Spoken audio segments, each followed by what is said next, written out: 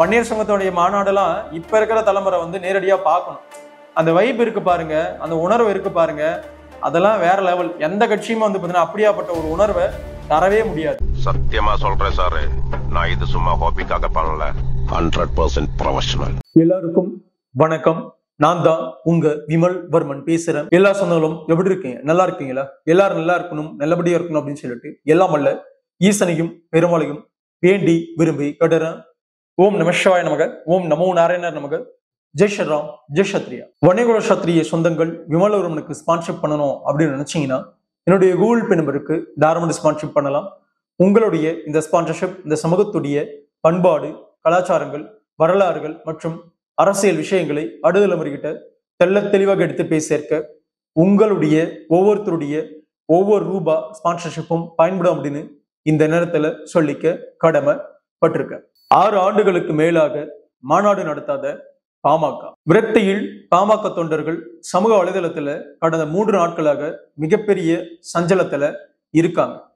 உண்மையாகவே நடந்த சம்பவம் என்ன? குறிப்பாக சில கட்சிகள் எல்லாம் ஏன் நேத்து கட்சி ஆரம்பிச்சவங்க எல்லாம் மிகப்பெரிய மாநாட்டை கூட்டி இங்க பார் தமிழகத்துல இருக்கிற ஒட்டுமொத்த மக்களும் எங்க பின்னாடி தான் இருக்காங்க அப்படின்னு அவங்க அவங்களுடைய பலத்தை காட்டிக்கிட்டே இருக்கிறாங்க. ஆனா பாமக தமிழகத்துடைய பெரும்பான்மை சமூகத்துடைய மிகப்பெரிய கட்சியா இருக்கிற இவங்க ஏன் மாநாடே வந்து பாத்தீங்கன்னா நடத்தாம ஆறு வருஷமா இப்படி பண்ணிட்டு இருக்காங்கன்ற ஒரு பெரும் விரக்தி வந்து பல பாமக தொண்டர்கள்கிட்ட மாட்டிக்கிச்சு. ஏன் இந்த ஒரு சூழல் வந்து பாத்தீங்கன்னா ஏற்பட்டிருக்குன்றது தான் இங்க தவிர்க்க முடியாத வந்து பாத்தீங்கன்னா ஒரு பெரும் கேள்வியாவே மாறி இருக்கு குறிப்பா மாவீரன் ஜெயகுரு அவர்கள் இறப்புக்கு பின்னாடி பாமக எந்த ஒரு மாநாட்டையும் மிகப்பெரியதாக முன்னெடுக்கல.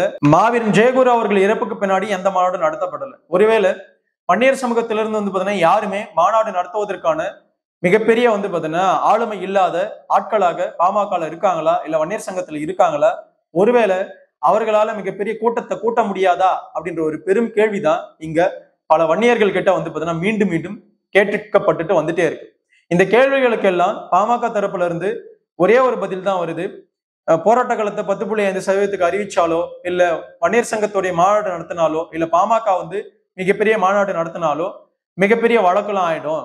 நிறைய பேர் மேல வந்து பாத்தீங்கன்னா வழக்கு பாயும். வழக்கு பாஞ்சா பாமக தொண்டர்கள் வந்து பாத்தீங்கன்னா நிறைய பேர் வந்து ஜெயிலுக்கு போவாங்க. அதனாலேயே வந்து பாமக தலைமை இதை தவிர்க்குது அப்படின்ற ஒரு காரணத்தை வந்து சொல்றாங்க. இந்த காரணம் ஒட்டுமொத்தமா இருக்கிற பாமக தொண்டர்களிடையே மிகப்பெரிய ஒரு மகிழ்ச்சியான காரணமா பார்க்கப்படல. அந்த விஷயத்த பெருசா வந்து நினைக்கல. வழக்கு என்ன போட்டு போறாங்க? அவ்வளவு பெரிய பிரச்சனைகளா ஏற்பட்டுற போது நீங்க ஏன் நொண்டி சாக்கெல்லாம் சொல்லிட்டு இருக்கீங்க அப்படின்ற மீண்டும் மீண்டும் இந்த வட்டத்துக்குள்ளேயே வந்து பாமக தொண்டர்கள் வந்து சிக்கி தவிச்சிட்டு இருக்கிறாங்க. பாமக அரசியல் மாநாடு நடத்துமா?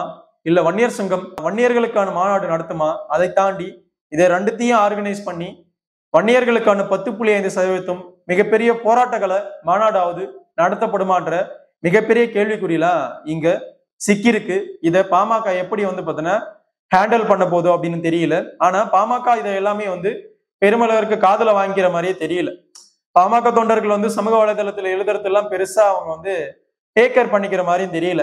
நீங்க மாட்டுன்னு ஒரு பக்கம் சொல்லிட்டு இருங்க.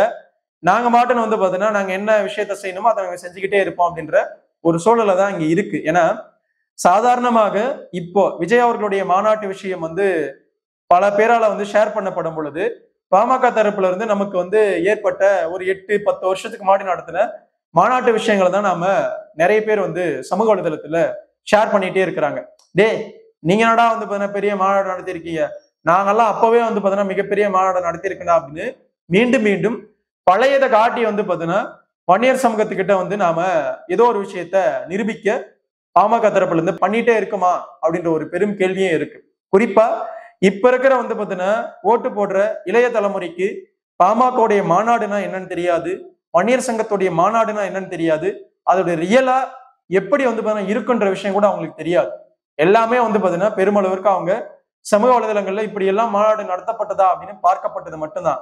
இப்படி அவங்க ரியலா பாமகவுடைய மாநாட்டையும் வன்னியர் சங்கத்துடைய மாநாட்டையும் இப்ப இருக்கிற அடுத்த தலைமுறையா இருக்கிற வன்னியர்கள் பார்த்தா மட்டும்தான் கட்சியை நோக்கி வந்து பார்த்தீங்கன்னா இன்னும் அதிகமாக வன்னியர்கள் வருவாங்க. அப்படி மாநாடு பெருமளவிற்கு நடத்தல அப்படின்னா கண்டிப்பா வந்து பாமகவுடைய பலம் வலுவிழுந்துட்டு தான் போகும். அதோடைய மிகப்பெரிய வந்து எடுத்துக்காட்டு ரெண்டாயிரத்தி இருபத்தி நாலு நாடாளுமன்ற தேர்தலே வந்து இளைய தலைமுறையா இருக்கிற பல வன்னியர்கள் எல்லாம் பாமக தரப்புக்கு வந்து பார்த்தீங்கன்னா ஓட்டு செலுத்துறத மாத்தி நாம் தமிழருக்கு வாக்கு செலுத்திருக்காங்க அப்படின்னு நம்ம ஏற்கனவே பதிவு பண்ணியிருக்கோம். மீண்டும் மீண்டும் பாமக இந்த விஷயத்த ஏன் தட்டி கழிக்கிறாங்க? ஏன் மாநாடு நடத்துறதுக்கு இவ்வளவு தூரம் வந்து பாத்தீங்கன்னா தயங்குறாங்க அப்படின்னு தெரியல. ஒருவேளை இது எல்லாத்தையும் சேர்த்து வச்சு ரெண்டாயிரத்தி இருபத்தஞ்சு எண்டுலையோ இல்ல ரெண்டாயிரத்தி இருபத்தஞ்சு பாதிலேயோ வன்னியர் சங்கத்துடைய மாநாடோ இல்ல வந்து பாமகவுடைய அரசியல் மாநாடோ நடத்தப்படும் ஆயின் இது ஒட்டுமொத்தமாக அரசியலாகத்தான் ஒட்டுமொத்த வன்னியர்களும் பார்ப்பாங்க அப்படின்னும் தெளிவா நாம சொல்லிக்க விரும்புறோம். ஏன்னா பாமக தரப்புல இருந்து தலைமை வந்து நீங்க சொல்லும் போதெல்லாம் நாங்க மாநாடு நடத்த மாட்டோம். நாங்களா நினைக்கும் போது மாநாடு நடத்துவோம் அப்படின்ற ஒரு எண்ணத்துக்கு நீங்க இருக்கீங்க அப்படின்னா அது ஒண்ணுமே பண்ண முடியாது. வருஷத்துக்கு ஒரு மாநாடாவது வந்து வன்னியர் மத்தியில வன்னியர் சங்கத்தாலேயோ இல்ல பாமகவிலையோ நடத்தப்பட்டாதான் இங்க இருக்கிற ஒட்டுமொத்த வன்னியர்களும் பாமக தொண்டர்களும் மீண்டும் மீண்டும் அதிகப்படியாக செயல்படுவதற்கோ மிகப்பெரிய வந்து பார்த்தீங்கன்னா ஒரு எழுச்சியா ஒரு உணர்வுபூர்வமா ஒண்ணு சேருவதற்கோ மிகப்பெரிய ஒரு வாய்ப்பா அமையும். அந்த வாய்ப்பை ஆறு வருஷமா வந்து பார்த்தீங்கன்னா பாமக நழுவ விட்டுக்கிட்டே இருக்கு. இந்த வருஷமும் வந்து பார்த்தீங்கன்னா நழுவ விட்டுருச்சு. அவ்வளவுதான் இன்னும் ரெண்டு மாசம் தான் இருக்கு.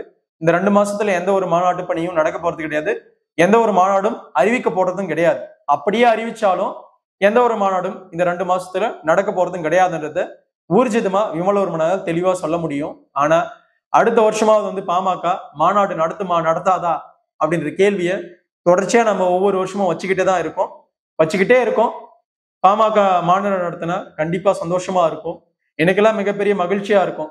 வன்னியர் சங்கத்தோடைய மாநாடெல்லாம் இப்ப இருக்கிற தலைமுறை வந்து நேரடியா பார்க்கணும். அந்த வைப் இருக்கு பாருங்க அந்த உணர்வு இருக்கு பாருங்க. அதெல்லாம் வேற லெவல் எந்த கட்சியுமே வந்து பாத்தீங்கன்னா அப்படியாப்பட்ட ஒரு உணர்வை தரவே முடியாது. வன்னியர் சங்கத்துடைய மாநாடு வந்து பாத்தீங்கன்னா நடத்தப்பட்டா அப்படியாப்பட்ட ஒரு உணர்வு வந்து பாத்தீங்கன்னா இருக்கும். அந்த உணர்வை மீண்டும் வந்து பாமக ஏற்படுத்துமா இல்ல வன்னியர் சங்கம் ஏற்படுத்துமா அப்படின்னு மிகப்பெரிய வந்து பாத்தீங்கன்னா ஒரு ஆதங்கத்தோடைய வெளிப்பாடாதான் பல வன்னியர்கள் இரண்டு மூன்று நாட்களாக வந்து பார்த்தீங்கன்னா மாநாடு நடத்துங்க மாநாடு நடத்துங்க அப்படின்னு சமூக வலைதளங்கள்ல எழுதிக்கிட்டே இருக்கிறாங்க.